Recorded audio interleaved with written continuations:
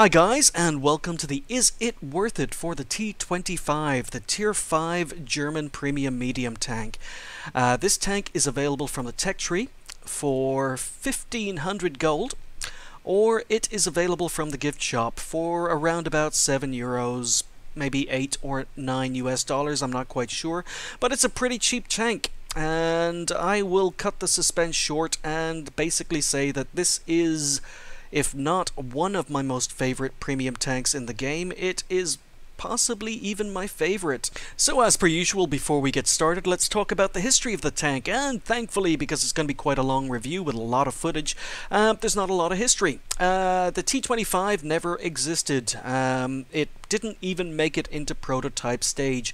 This was a tank that only existed in blueprints. It was a design proposed by Skoda, and uh, it has a very similar history to the T15 actually. Um, both of these tanks were developed by Skoda, uh, and as you can see, they actually look very similar. They both have a front-mounted turret. Um, they both have a, a, very, very long engine with a big engine deck at the back. Um, and like the T15, the T25 is very, very fast. But uh, yeah, designed by Skoda, but never developed. So that's pretty much it for the history. The T25 is one of five premium medium tanks you can get for the Germans. Okay, the Hydrostat is not readily available, but there are five choices available. So if you are serious about training up German medium crews, I think the T25 deserves a place in your garage even if you have some of the other tanks. I did go into a very big comparison between the Hydrostat and the T25 when I was doing the Hydrostat review, mainly because the Hydrostat is also a tier 5 premium medium tank, and essentially in my Hydrostat review I came out and said it. The T25 in my opinion, is a better tank. Doesn't mean the Hydrostat's a bad tank, I actually like the Hydrostat a little bit, but I much, much prefer the T25, and I'm going to be explaining why during the rest of the video. But there are a lot of choices for German premium medium tanks, and if you're serious about training up German medium crews, you're probably going to want to get a, quite a few of these tanks. You can train crews very, very quickly due to the fact there are lots of choices, unlike a lot of other nations. So let's get down to the nitty gritty. There are six premium tanks available at tier 5 in the game for the various nations, and I'm just going to drag them all up. So we're going to be comparing the T25 against its cousin, the Hydrostat, the other tier 5 German premium. Uh, we're going to be comparing it against the Japanese Chi-Nu Kai, technically the Canadian Ram 2, but the American Ram 2, the uh, British Matilda's Black Prince, and the uh, Russian, although again technically British. Uh, the Russian Matilda 4. Um, so these are all the uh, premium medium tanks at tier 5 in the game. And uh, you'll see when we look at hit points that the T25 is very, very good. In fact, the two most recent additions to Tier 5 premium tanks have been the Chi-Nu Kai and the Hydrostat. So prior to the introduction of these two tanks, the uh, 610 hit points was the base line for all the uh, medium tanks at Tier 5. The Ram 2, Black Prince, and Matilda all got 610 hit points, just like the T25. Uh, so that makes made it average for uh, a premium tank at tier 5 for quite a long time until the introduction, as I say, of the Hydrostat and the Chi-Nu Kai, both of which have lower hit points. But essentially, the T25 has a very, very nice hit point pool. When it comes to weight, the uh, T25 is the second lightest of all the tanks. It uh, is pretty comparable to the Chi-Nu Kai, but it's a pretty light tank. Uh, it's significantly lighter than the Ram 2, Black Prince or uh, Matilda 4. Uh, but being light is good because we get 450 horsepower engine. So uh, the engine is actually very, very good. It is the best engine of all the tier 5 uh, premium medium tanks. Only the Ram 2 is similar. It gets a 440 horsepower engine, but it is significantly better on the T25 than any of the other medium tanks. So we have the most powerful engine pushing the second lightest tank and uh, that means you get speed. This tank is fast and this is one of the reasons I absolutely love this tank. We have a 60 kilometer an hour speed limit. Now the tank is a little bit sluggish when it first starts off. Uh, I suppose the first 0 to 20 kilometers an hour can be quite sluggish. It is slow off the mark, but once it hits 20 kilometers an hour, it just picks up speed really, really quickly. Um, it is significantly faster than any of the other Tier 5 premiums. Only the Hydrostat comes close at 48 kilometers an hour, and even that is outclassed by the 60 kilometers an hour on the T25. So it is very, very fast. However, there is a downside. Not only is it sluggish when it first starts to accelerate, it also has a very, very poor traverse speed. So uh, the traverse speed, the hull traverse speed, is 30 degrees per second, which is much, much worse than any of the other tanks. What this means is this tank turns like a brick it is very, very slow to turn. If you're at any sort of high speed and you are trying to turn, the uh, circle when you're turning the T25 is very, very big. Um, it just does not turn very well. The other point about turning the tank when you're at speed is you will drop speed very, very quickly. So you're 60 kilometers an hour, but mainly in a straight line. As soon as you start maneuvering this tank, you will drop speed very, very quickly. In addition to having quite poor traverse speed on the hull, you also have very, very poor traverse speed on the turret, only 22 degrees per second, significantly worse than any of the other Tier 5 premium tanks. So these are two big negatives. It is quite hard when enemy tanks get in close to you to uh, actually get your tank turned around and get your gun on target. The trick with the T-25 is not let the enemy get too close to you. It also means that you can't do one of the things you traditionally should be able to do in a medium tank, which is circle isolated tanks to death. You can't really circle enemy tanks to death easily I'm not saying you can't because I've done it, but it's not easy in a T25 due to the fact you drop so much speed when you're traversing and due to the fact your turret traverse is so poor. So in this uh, sequence I'm going to show you what I'm talking about. Uh, this was one of my first games on Sacred Valley once the map was reintroduced. No one went north and we are being flanked. There's a panther and a tiger. However, I have noticed an isolated T-34-85 on the other side of these rocks, so uh, we're just going to go. Um, um, and I'm going to show you what I mean by the really, really poor traverse and the really, really poor turret traverse and how you can't circle enemy tanks to death very easily. Now you gotta remember, I'm a tier 5 in a tier 7 game and I'm going to be taking on a tier 6 uh, medium tank. But uh, I'm accelerating fairly quickly, pop up, aiming for his weak spot and bounce, someone else takes him out. Unfortunately, you can't guarantee to uh, penetrate heavies from the front all the time. But, uh, okay, I'm sneaking up on this T-34-85. We get a shot in. And now he's just noticed me. So I try to track him and fail. I'm expecting him to shoot. But I've got the acceleration. Now I'm trying to trying to circle him to death. But look how slow Look how slow the turret traverse is, and I can't. I've got to I've got to start advancing and then reversing in front of him. Miss my track shot again. Now, I don't know why he's not shooting. I think maybe he's been ammo racked, but uh, there you go.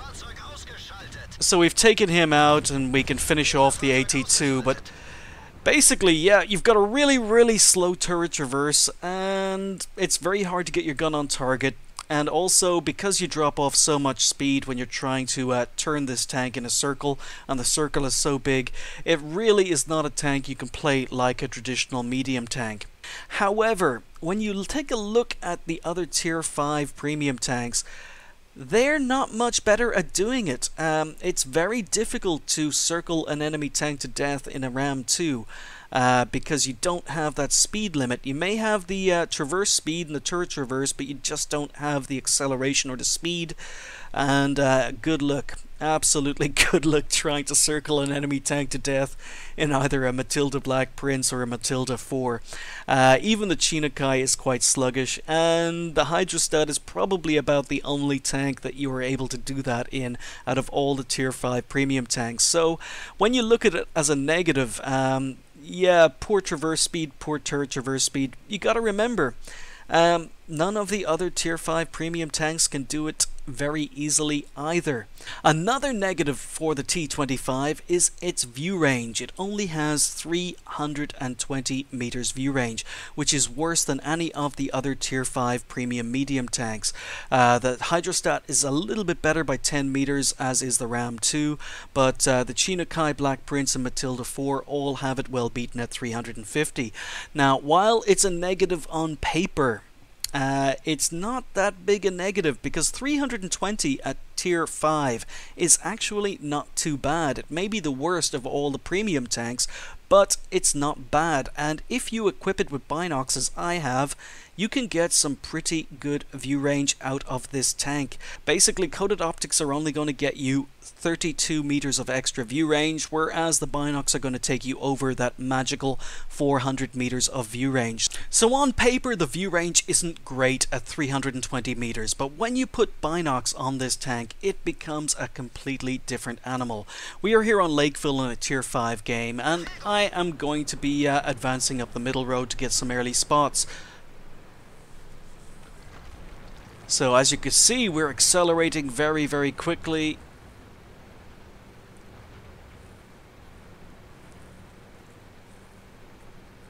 And we're going to be getting into this bush position. And on the mini-map, you can see the first circle is my view range while moving. I'm going to sit here, and on the mini-map, you'll notice my binocs kick in and my circle goes much, much bigger. We've spotted a Churchill 1, and I know I've got much better view range than he does, especially as he's on the move. So we're able to light him up. And we're doing our damage early. But I've also spotted an A20, I've spotted a PZ4H, I've spotted a Stug, and I'm just going to work here. And this is what this tank is fantastic for, and why I really, really recommend putting Binox on it. It is such a much, it's a much, much better tank with Binox. And of course, as per usual, I miss my kill shot. The signal range, however, is very, very good. 710 meters of uh, signal range with the radio. At tier 5 is excellent. It is much, much better than any of the other tier 5 premium medium tanks. So let's talk about the armor. On paper, we can see that uh, the armor doesn't look that good. It's very, very similar armor-wise to the Hydrostat and the Chi-Nu Kai, uh, and it looks much worse than the other three premium or tier 5 premiums. However, the T25 is actually sloped, so that 50 millimeters of hull armor is actually more comparable to the later three premium tanks here. Uh, it's much, much closer to the 75, 76 millimeters of frontal armor than on paper. Uh, the sloping will allow you to bounce shots. Not a lot, you can't rely on it, and the side armor is 45, which is better than the Chi-Nu Kai or the Hydrostat, but much worse than the other three tanks. And the rear is pathetic at 20 millimeters thick, but then again, it's similar to the other two and not quite as good as the last three. So the hull armor is not great, but it is sloped and it can bounce shots. The turret armor, again on paper, is not great. In fact, it's the second worst turret armor of all the Tier 5 premium medium tanks. Only the Hydrostat is worse. T25 only gets 60 millimeters on front, 60 on the side, and 35 on the rear, which makes it again on paper much much worse than any of the other Tier 5 premium medium tanks.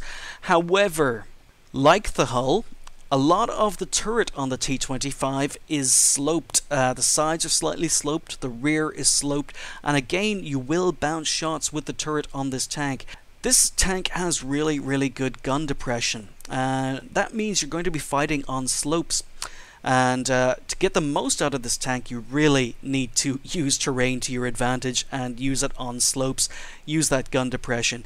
When you're using the gun depression, even though the front of your turret is quite flat and only has 60 millimeters of uh, turret armor, uh, you are going to be working on slopes. You're going to be showing an angled front of your turret to the enemy, and they will bounce. I bounce a lot of shots by going hull down in the T25.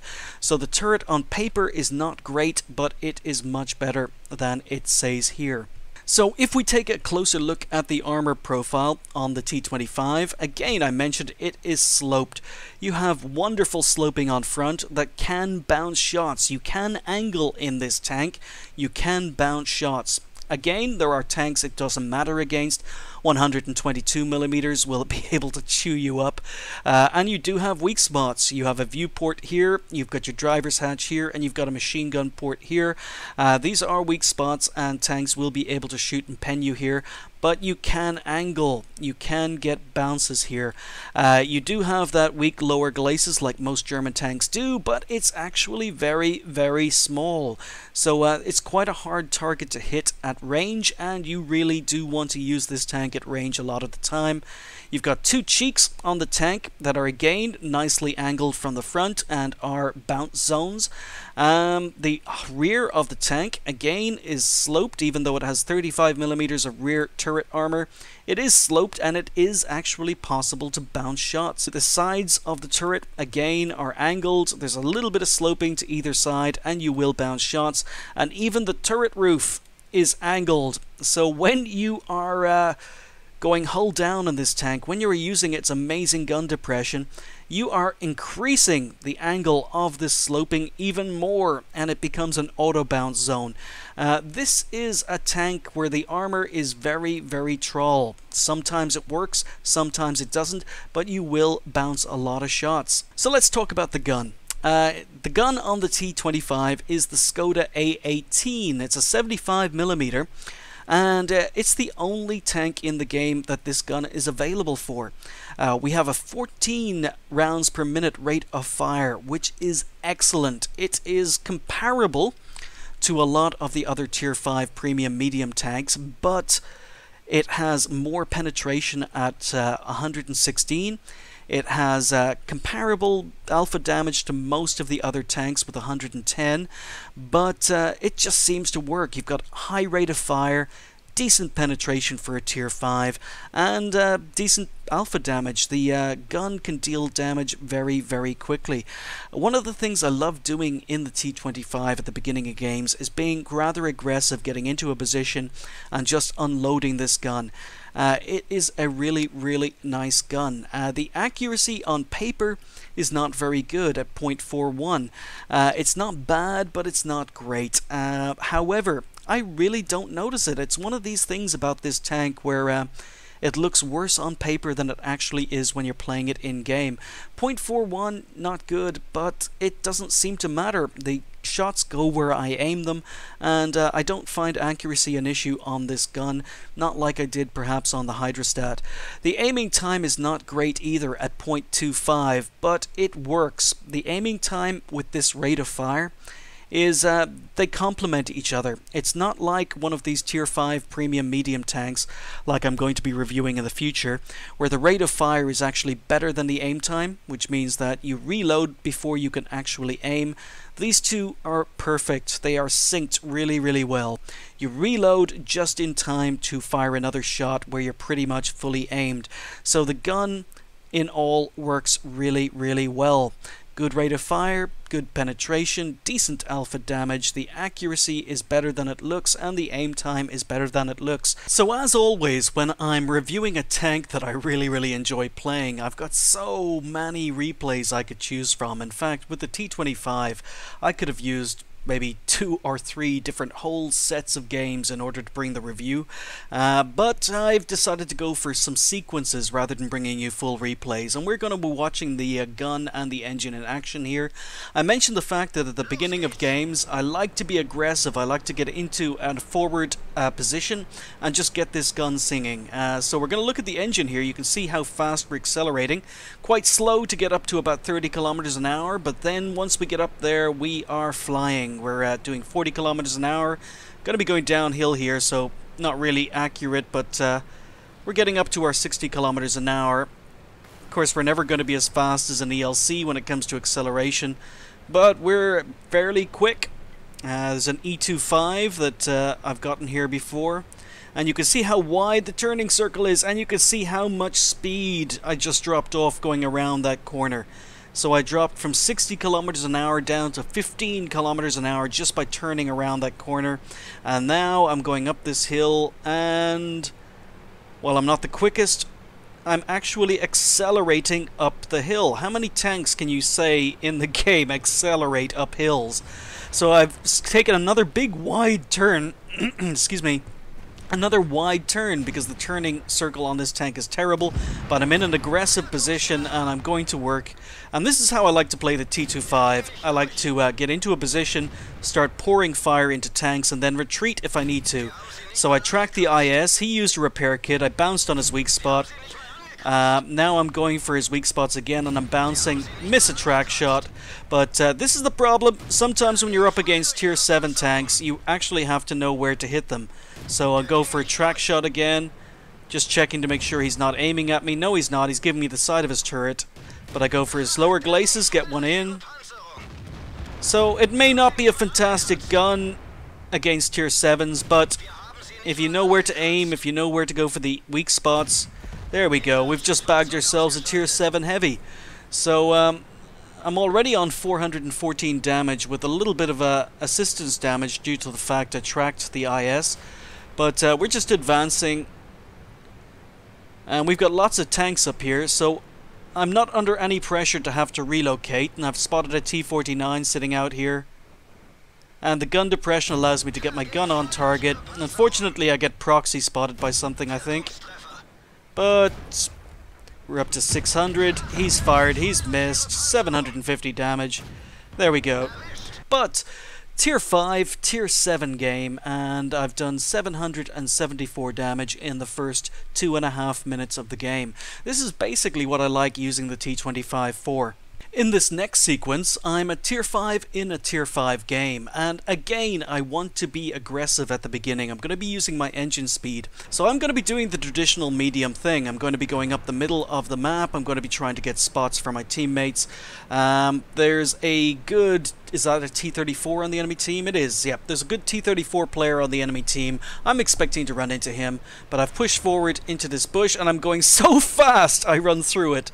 But uh, I've advanced, I'm aggressive, I'm pushing up to this bush. He's not advancing. Okay, so let's sit in this bush, let's our, let our binocs kick in.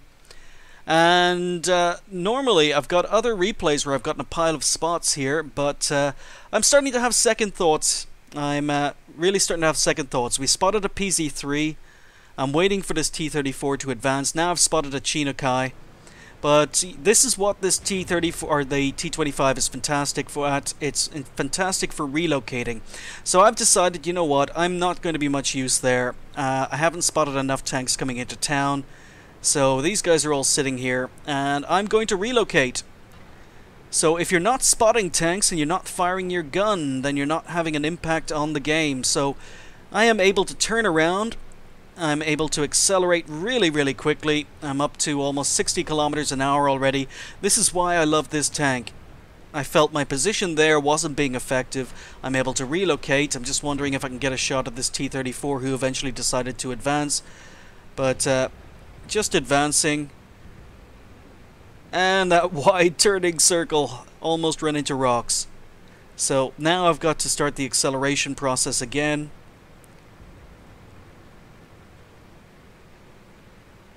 So we can get up to speed.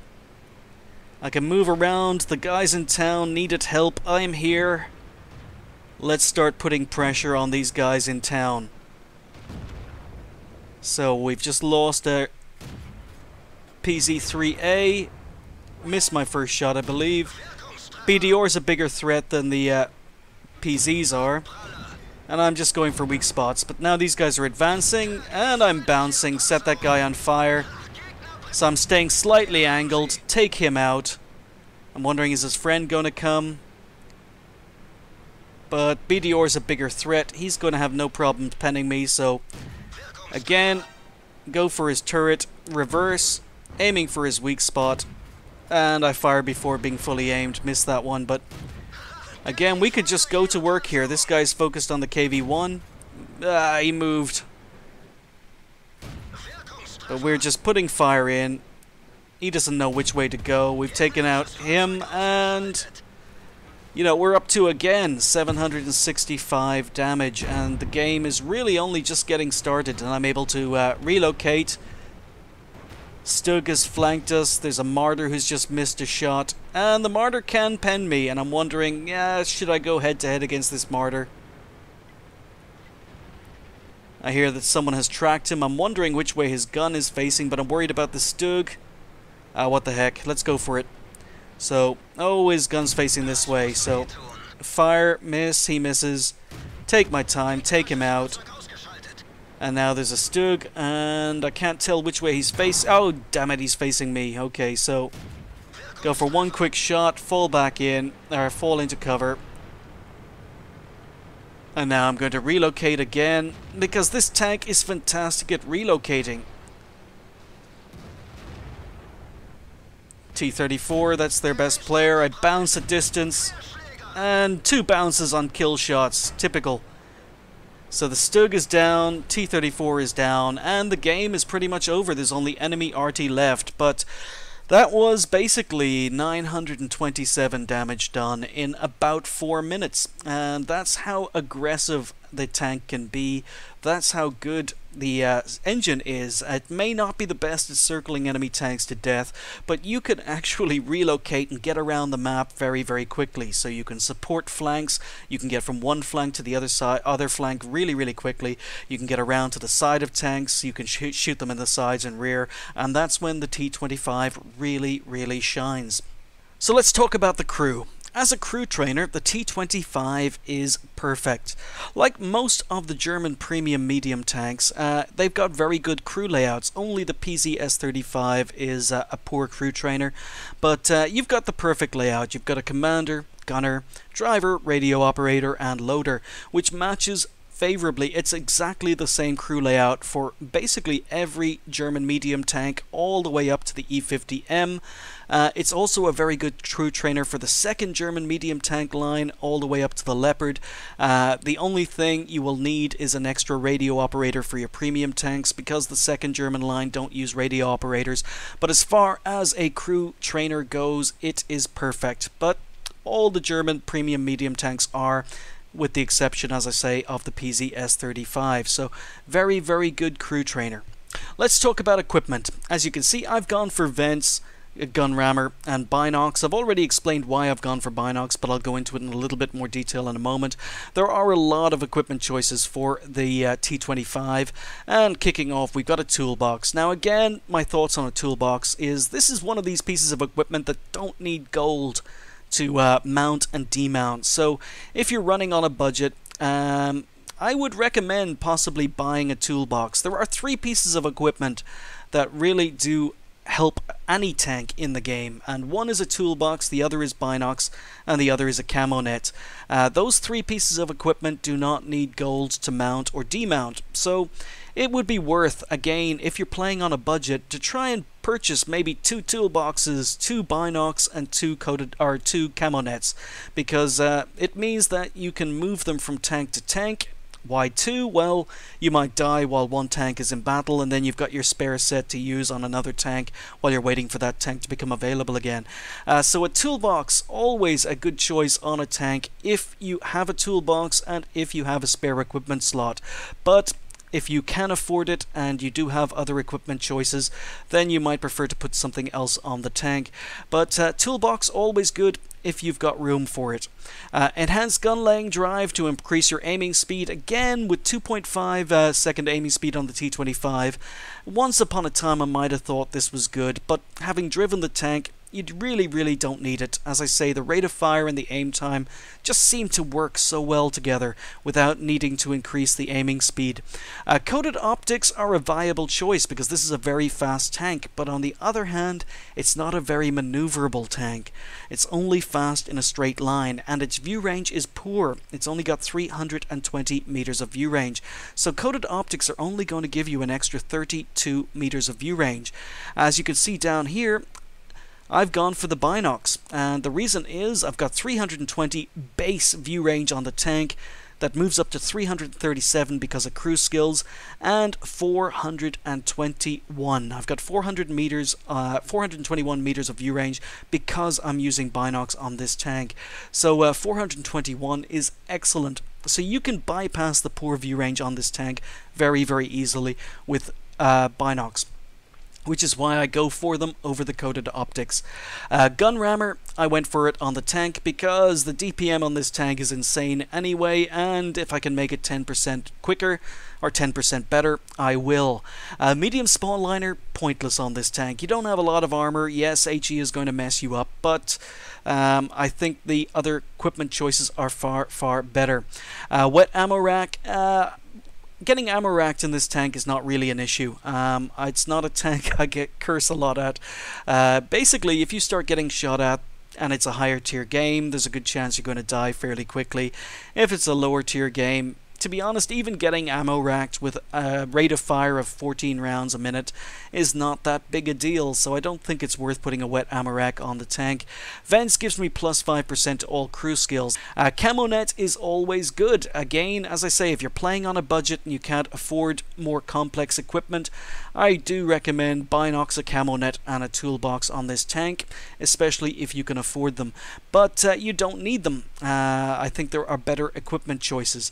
Uh, enhanced springs are maybe a possibility. Uh, this tank is very, very fast in a straight line, and I do do damage to myself occasionally when I'm uh, jumping over rises, moving over bumps, going down slopes. Uh, not a lot of damage, but it is possible to track yourself. I think maybe enhanced springs are a possibility. They're cheap, they're only 20,000 credits, so. Um, Again, it's completely up to you. I don't do enough damage to myself to warrant them, but it's a possibility.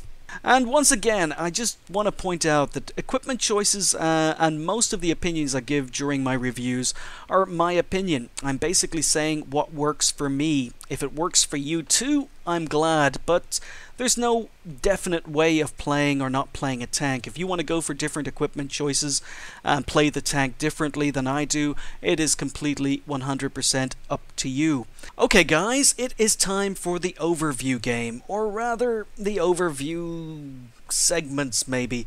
Um, I had a lot of trouble choosing an overview game for the T25 because I've had so many good games in this tank. Um, this tank is an absolute monster when it gets top tier, uh, but it is still really, really effective when it gets into a tier 7 game. Uh, but the problem is I couldn't find any game, any single game that could bring you all the strengths and weaknesses of the tank in one game. So I'm gonna have to put a couple of segments together. Uh, but anyway, let's just get going with this game on Murovanka. I'm top tier, so uh, we are going to go.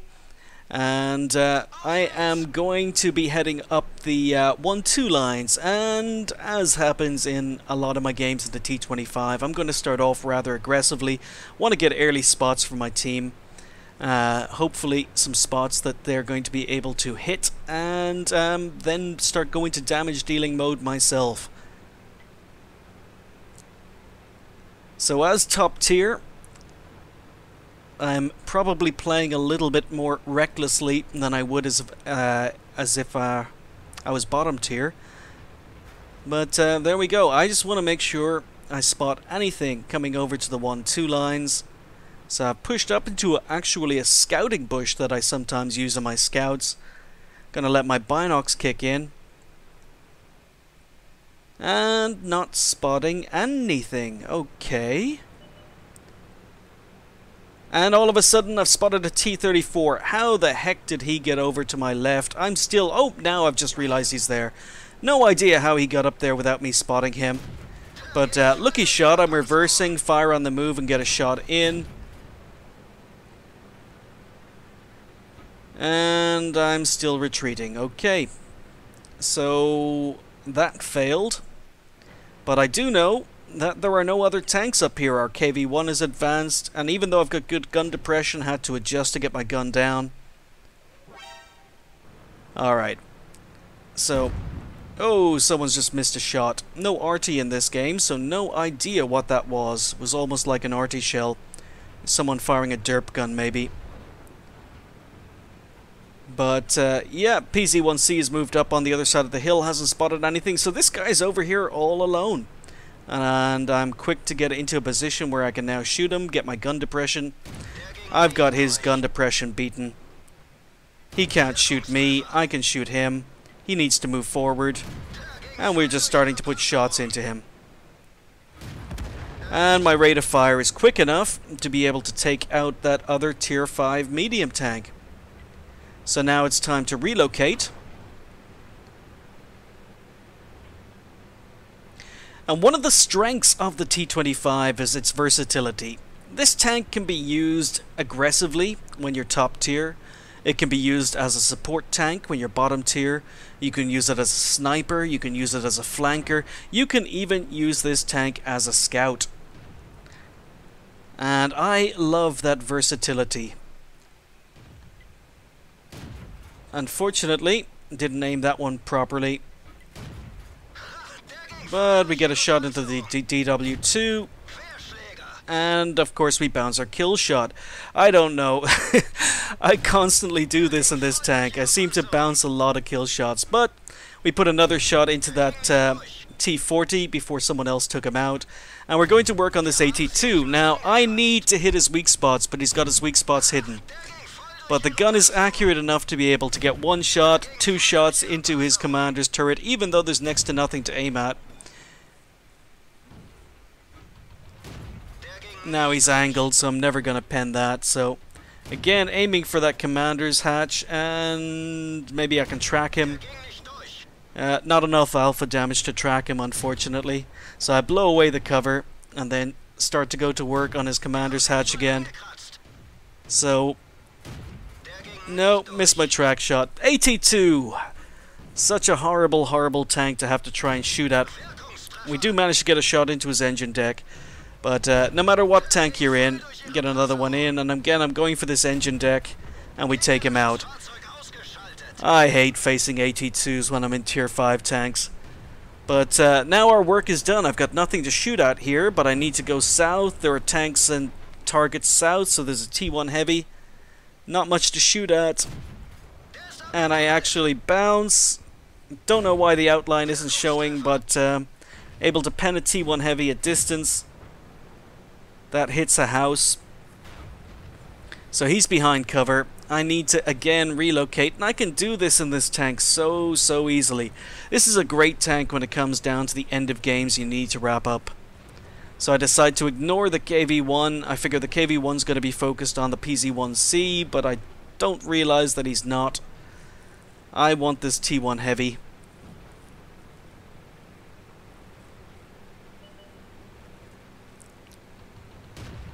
So bounce a shot on the move, decide to stop, aim more carefully, take him out, but nope, the KV-1's focused on me. He gets one shot in, and there we go. I bounce, he gets another shot in. He gets another shot in, and I take him out with a shot in third person. So we're up to four kills. Unfortunately, I've taken three shots. You can bounce shots in this tank, but uh, you've got to remember it's a medium tank, and there are a lot of tanks in the game that have absolutely no problems penning you. But 1200 damage done, and the game is only five and a half minutes old and one enemy tank left. And again I'm quick enough to be able to get into a position to be able to get shots. Don't know where that shot goes. But we get another one in. And the rate of fire. And the aim time. Mean I can get some more damage out of this game at the very end. So unfortunately I don't get the kill but that's pretty much sums up the T25 I mean when you're top tier you can get into positions, you can be very aggressive when you can't be when you're bottom tier, but you can play this tank aggressively, and you can also play it as a support and a sniper. The gun is good enough to do that. So, in that first replay, you saw me being top tier in the T25. I was playing aggressively, I was on the front line, I was getting spots, dealing damage, and putting this gun to use. But what happens when you get the T25 into a tier 7 game? In this particular game, I am bottom tier. We are here on Sacred Valley, and we are just going to go. So, whereas you can be really, really aggressive when you're top tier, when you are lower tier, you need to be a little bit cleverer. Now, I am moving into position again, like most of my T25 games. I want to get into an early spotting position. I want to be the first one on my team to spot enemy tanks. So I'm advancing, and again, I'm using this speed. I'm way ahead of my team. Even our scout is behind me. And I'm just going to poke this corner, see if anyone is sneaking up, and I spot the ELC. So get one shot into the ELC and fall back because I have no idea what support he has. I've been spotted at the moment he's proxy spotting me so I wait for him to uh, run into other tanks. IS-2 moves across the gap and doesn't get shot but I decide to move forward. I'm going to sit here, I'm going to let my binocs kick in, I'm going to speed it up until something happens. But uh, Okay, I didn't spot these guys. Unfortunately, I'm still new to the map and I don't realize that I'm not getting effective spots here. So there are some tier 7 heavies. There are three tier 7 heavies ahead of me and you can see that I'm having problems penning them. I'm trying to take these tanks on from the front and the gun on this tank is not good enough to do that at distance. You can do it up close and personal, can't really do it from distance. So now I've decided I'm not being effective and I need to relocate. So there's a KV-1S who's isolated himself, we've got an IS-2 and a VK versus him, and I'm able to move, I'm able to relocate, and I'm able to start doing more damage. So again, unfortunately, bounce on the side of the KV-1S, his tracks eat the shot, and he dies before I can shoot him in the lower glacis. So once again, I am using this, I'm using it as a support tank, I'm not in the front lines, I'm helping my friendly tanks where I can. I noticed that there were a lot of enemy tanks on the 8-9 lines, and I'm going to go over see if I can help here. But uh, my team don't need my help. They've already taken out two of them, and they're going to take out the Comet and the M6 anytime now. So I've just wasted my time driving back. But I'm in a fast tank. So now I've got to turn my attention back to these tier 7s. And I'm still fairly new to this map. I think this is my second or maybe third game on this map since it was reintroduced into the game. Couple of the replays I'm including in the uh, review are from this map simply because it was in rotation on the day I was doing these reviews. But it doesn't matter. I've been able to traverse the uh, map. I've been able to get back around. We've got a T-34-85 who basically gives up all this damage. He goes to go cap.